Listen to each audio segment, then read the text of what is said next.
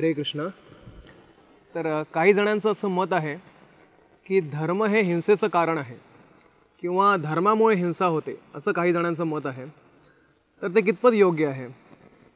तर याचं उत्तर असं आहे की जर धर्म हे हिंसेचं कारण असतं तर रशिया आणि चायनासारख्या देशांमध्ये जिथे नास्तिकतावादाचा मोठ्या प्रमाणावर अंमलात आणण्या आणण्यात आलं राज राष्ट्रीय स्तरावर निधर्मीपणा अंमलात आणण्यात आला.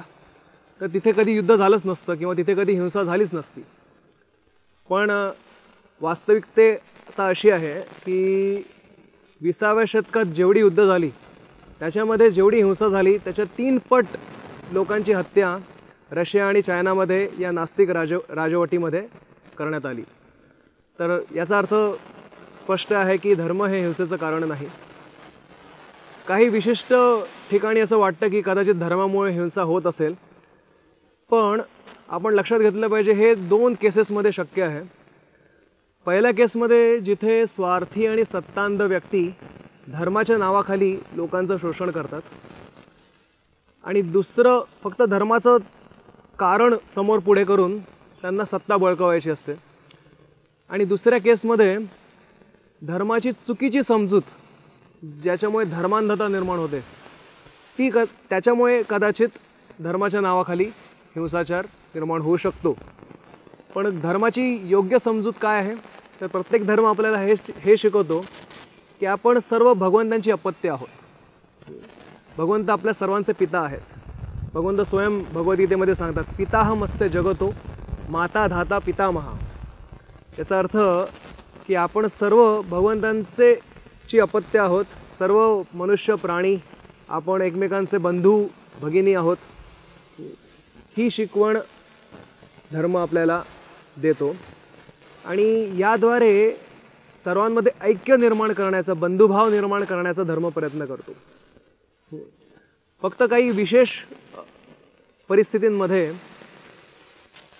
जिथे अन्याय आहे जिथे शोषण आहे तिथेच धर्म अधिकारी व्यक्तींना शस्त्र उचलायला सांगतो. उदाहरणार्थ कृष्ण अर्जुनाला शस्त्र उचलायला सांगतात आणि कौरवांसोबत युद्ध करायला सांगतात. हे कशासाठी? कारण दुर्योधन ज्याच्या नावातच दुराचार आहे त्याला सरळ करणं आवश्यक होतं. समाजाच्या कल्याणासाठी हितासाठी हे करणं आवश्यक होतं. म्हणून भगवंतांनी असा उपदेश अर्जुनाला दिला आहे. तर जिथे आवश्यक आहे तिथे भगवंत अर्जुनाला युद्ध करायला सांगतात. आणि या भगवंतांनी दिलेल्या उपदेशामध्ये त्या हिंसेमध्ये सुद्धा करुणा आहे.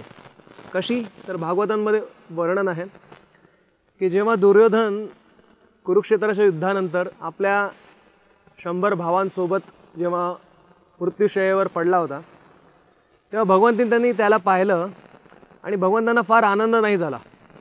श्लोक असा येतो की सुयोधनं सानुचरम शयानम भग्नोरुम उर्व्याम न ननंद पश्यन। भगवंतांना उलट वाईट वाटलं की दुर्योधनाने आपल्या मनुष्य जीवना जीवन जे आहे ते अशा प्रकारे वाया घालवलं. तर भगवंत आपल्या उपदेशांद्वारे गीतेमध्ये सांगतात की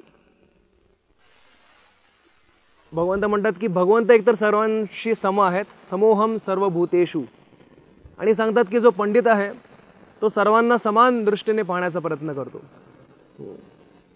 जसं विद्या विनय संपन्ने ब्राह्मणे गविहस्तिनी शुनीचैव श्रपाकेश पंडिता समदर्शिना सर्वांना समान दृष्टीने पाहण्याची शिकवण धर्म देतो. बंधुते बंधुतेने पाहण्याची धर्म शिकवण देतो. तर धर्मातून करुणा सेवा आणि त्याग याची प्रेरणा घेणारे अनेक लोक आहेत. केवळ काही जण जे आहेत जे धर्माची चुकीची समजूत करून घेतात आणि त्याद्वारे हिंसेच्या आहारी जातात तर केवळ त्यांनाच बातमीमध्ये आणणं हे चुकीचं आहे आणि हे नकारात्मक आहे. वास्तविकता धर्म आपल्याला भगवंताच्या सेवेमध्ये नियुक्त करतो आणि आपल्याला आंतरिक समाधानाची आणि आंतरिक आंतरिक शांतीची प्राप्ती करून देतो.